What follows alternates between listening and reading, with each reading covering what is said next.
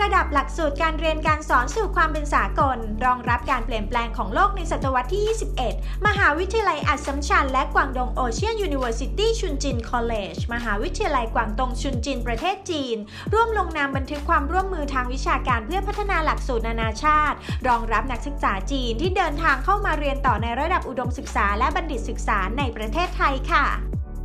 เราจะแบ่งปัน resource ทรัพยากร คุณค่าต่างๆ ช่วยเหลือพันธมิตรของเรา เราหวังว่าเราก็จะได้เรียนรู้สิ่งที่แปลกๆ ใหม่ๆ ที่ทันสมัยที่อยู่ในความเจริญในขอบข่ายของการพัฒนาคุณภาพการศึกษาเทคโนโลยีจาก Guangdong University เช่นเดียวกัน จริงๆที่ก็อยากให้ขอให้แอร์แปดนี่ก็มีทั้ง bilingualทั้งภาษาจีนด้วย ก็ภาษาอังกฤษก็เป็นหลักๆของ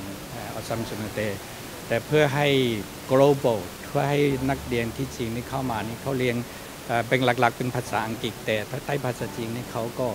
ต่อไปเขากลับไปที่จีนทำงานอย่างเป็นหลักการของเขาด้วย